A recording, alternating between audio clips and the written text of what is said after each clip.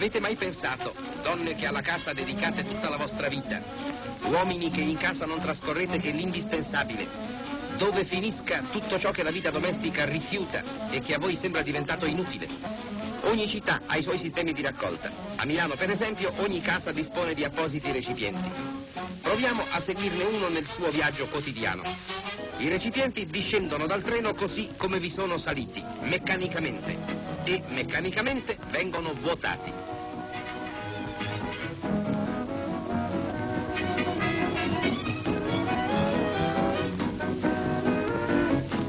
La massa dei recuperi è stata intanto sottoposta ad una prima energica pulitura.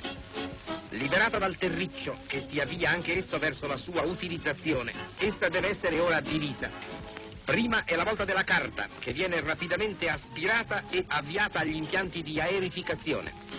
Quindi sono i barattoli e i materiali ferrosi ad essere raccolti da una elettrocalamita dentro appositi furgoncini. Inoltre, affinché nulla del recuperabile vada perduto, una ulteriore selezione viene compiuta a mano. Da altre macchine escono intanto grossi rotoli di carta. Cosa sarà stata questa carta in origine? Fatture, cambiali, lettere d'amore. La materia è trasformata. Può dunque essere convertita in quello che meno vi aspettate.